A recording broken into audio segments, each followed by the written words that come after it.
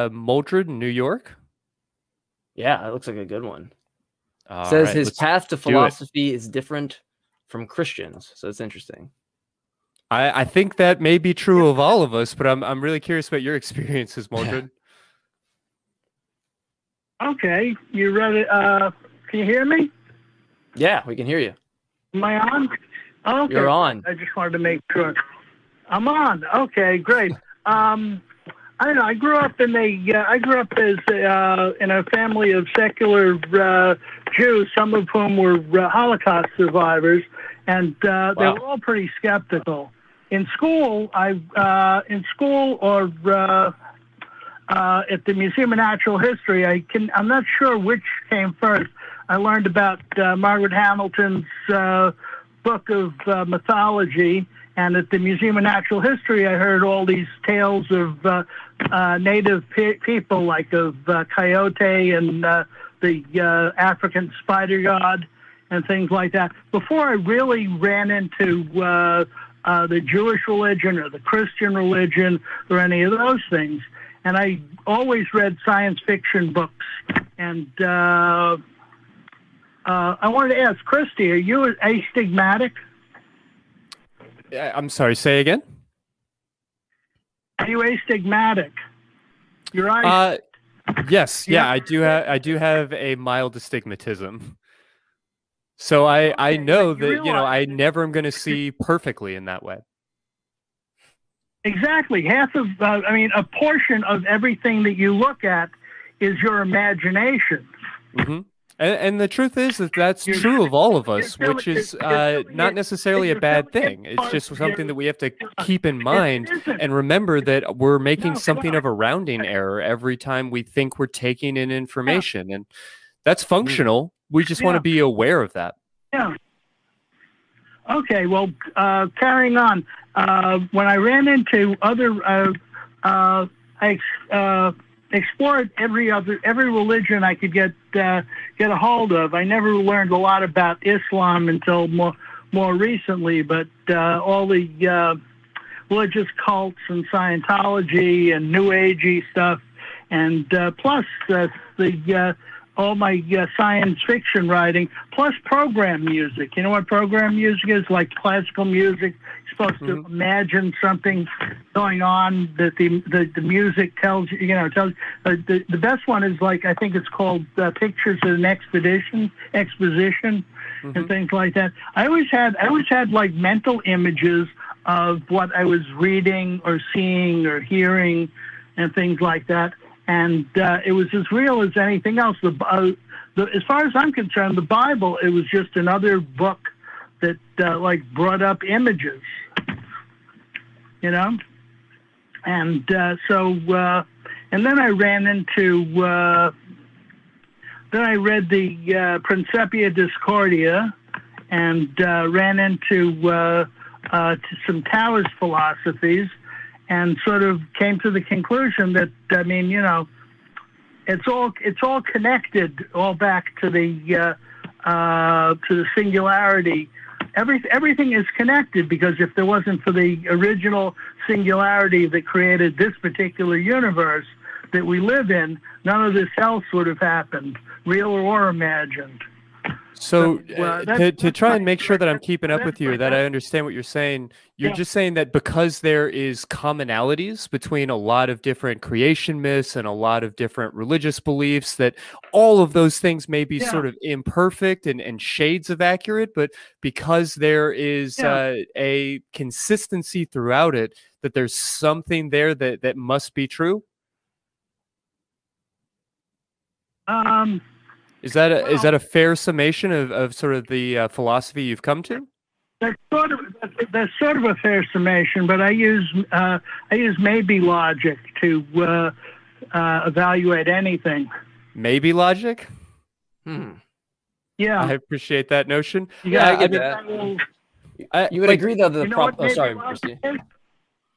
Well, I- guess I just wanted to very casually point out uh, at the start here that I think teaching sex ed to middle schoolers will very quickly disabuse you of that notion that consistency means accuracy because you hear a lot of the same baffling rumors uh, at different schools in different ways uh, that make no real sense, but that are also, if not logical, at least sort of reasonable middle school immature conclusions of just experiencing the same world. You know, if you are 10 years old, 12 years old, and you have a body and it's somewhat similar to every other person's body, you're going to start to make some guesses about that body. And those guesses may look like the guesses that other people are making, even if they are just on their face absolutely silly and ridiculous. Okay, can I uh, can I just give you a quick definition of maybe logic? I personally would love to hear that, but Yeah. okay. Yeah, I'm interested in that. Sure. All right, maybe logic consists of never regarding any model or map of the universe with total 100% belief or total 100% denial. Can I stop you there? Probability, not absolute. Applying this, uh, okay, yeah. Sorry. So that's that's. Uh, well, I wanted to say that's no. how I That's uh, well, that first thing you said. I'm sorry, I know I'm cut cut you off really quickly, but uh, so, you, you would you Yeah. disagree that science science has the same attitude in the sense it's just going to tentatively hold what what the model uh, predicts until there's better information or it's falsified, right? So, you, so are you saying that you that you're Yeah, on board with that? You're on board with that same thing? I'm just trying to understand. Uh, it is the the zetetic zetetic model method. Yeah. Okay, I'm just trying to. Yeah, I was trying to see if it's like tandem to that. That's all. Okay, go ahead. I'm sorry. Yeah, definitely, yes. Uh, Okay.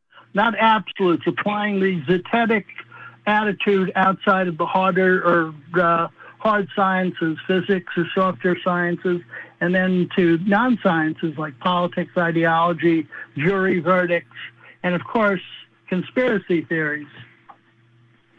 And the zetetic method differs from the usual scientific method in that in using it, one bases conclusions on experimentation and observation. As opposed to yours, which is That is my zetetic. oh that is oh that is so Maybe lying. That is the- Okay. Yeah. Uh, I uh, I check out uh, what what I what I see. I tend to uh, take with a higher probability than what other people tell me that they saw or, ex, or experienced. And what people people what people who seem to know what they're talking about tell me, uh, uh, I take with I take everything with a grain of salt. You know, maybe logic, but uh, if people seem people sound like they know what they're talking about, I will give them a higher probability than uh, people like uh, William Ray uh, William Lane Craig. all right. So that's where I'm going to push back on you because okay, yeah. because I don't know that the weight of the words matter in any way. I don't care how convincingly you can say something or how unconvincing William Lane Craig or someone can say something, uh, which I think is the case. I it matters whether or not the the independent evidence points to the, to what they're espousing. Mhm. Um, so I'm curious on that logic because it's sounds like you're you're assigning prior probabilities to No, like not your mental state just being confident that that person seems like they know what they're talking about and i feel like that is a, a very huge flaw in your epistemology if that's the case It's a really easy way to get taken in. Yeah it's how con men sell their products really easily to people. I mean, they rely on they rely on that I to won't- get you. I won't commit to any philosophy if I if I, if I can't get if I can't get uh, if I don't accept more than a fifty percent probability of it having any truth to it. okay but but are you going to take the probability off of just the fact that a specific person said it? Because that's where i'm fighting back on Oh no, Has- no, has not- no- I'm not- no weight. I'm not gonna- I'm not going to assign probability because one person said something. I will assign probability if one person says something and somebody else uh, somebody else uh, backs up that statement with uh, with uh, with facts, or if somebody if enough people if uh, okay I don't uh, don't necessarily subscribe to a majority rule because the majority isn't always right. If uh, if people, I mean, okay, if if enough scientists explain quantum, uh, quantum physics or quantum mechanics to me, I will begin to uh, I'll begin to uh, credit that there's something to it. But if one person like just uh, tells me about uh, uh, biocentrism, I'll say that's an interesting concept, but I don't know how I don't know how I don't know, know how accurate it is. Well, yeah. So I mean, all, all it sounds like what you're stating is that you have people that espouse claims, and then you have the independent evidence yeah. that backs up the claim. Um, but I would just hope that you're not taking any prior probability assessment or assessment of a fact purely based on the fact that somebody said it or that a specific person said it or that multiple people said it because that would be what's called an ad populum fallacy which is just to state that something is true because a lot of yeah. people believe it. That's going to be independent of that. Now we do need like you know the more peer review and stuff i agree that's that uh solidifies a belief or or knowledge but um but yeah it sounds like you would have an easier way of just saying you know people make claims. I don't accept the claim unless you back the claim up, which we're in total agreement. If that's the case, then I, mm-hmm. then I mm-hmm. wouldn't see anything that's that's different. And I also don't know that many other people don't take the same route. It's just whether or not they actually apply it all the way through. Right. Live up to that ideal. Yeah. Well, how about uh, Thunderfoot's uh, Basel assumptions? I haven't watched Thunderfoot in like three years, so I couldn't tell you anything Thunderfoot's doing. So I apologize, but Okay, um, well, no, this, he came up with this more than three years ago.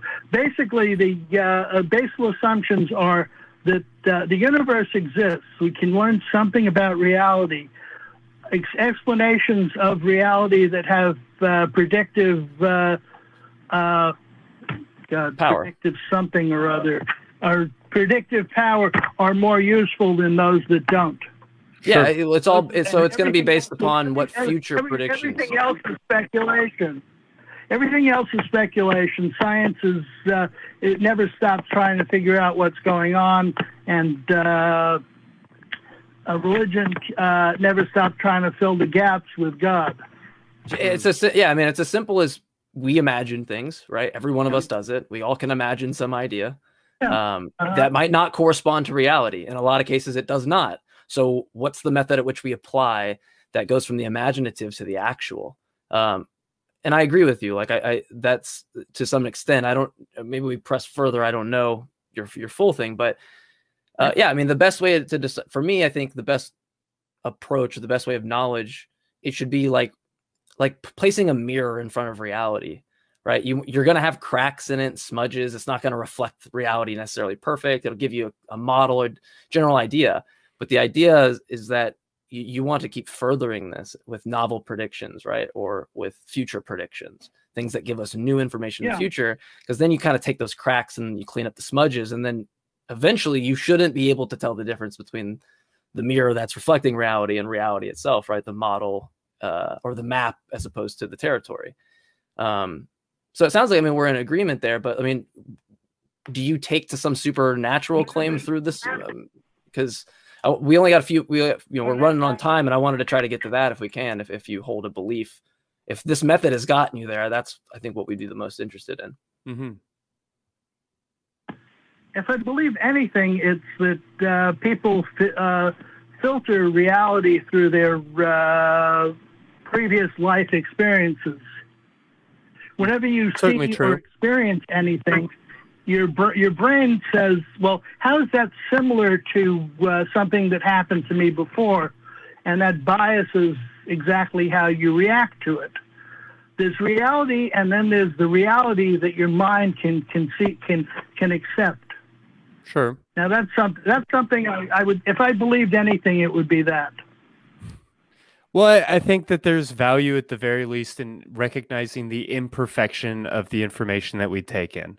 That doesn't mean that we don't have the ability to like really investigate uh, these things and that we can't come to some meaningful conclusions. You know, we don't just get to throw our hands up and say like, well, it's all broken. You know, there is no truth. There's only you and what you make the truth. But, you know, it's uh it's worthwhile to notice that those biases exist even if they don't give us like a free pass to just ignore the whole uh, enterprise. Yeah.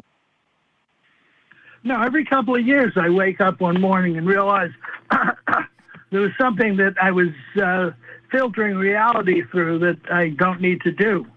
Mm-hmm. so uh, I've been around for 72 years, and I and in that time, my viewpoint on reality and the uh, the universe has changed multiple times. Yeah, You know, that, and that's I I think that's a 10 that's a good thing. ten year old until uh, until now. Every cup, every once in a while, I get new information, and I uh, I uh, try to uh, work it into my uh, into my uh, view viewpoint. Sure. Yeah. Um, no, I would I would agree for the most part there. I, I was wondering if you kind of had an entailment that you go to to some. Really, I some- really- yeah, I shouldn't. Sorry, have, go ahead. I shouldn't have accepted the, the word belief because, uh, according to Robert Anton Wilson, belief is a is is a form of brain damage. If you believe Yeah, I would- something, uh, you stop thinking about it.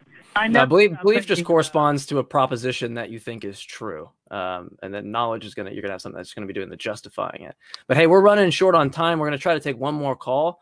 Uh, though we we do appreciate uh, Okay, uh do appreciate your call. thank you for your time. Absolutely. you. Thank Take you care. For your time.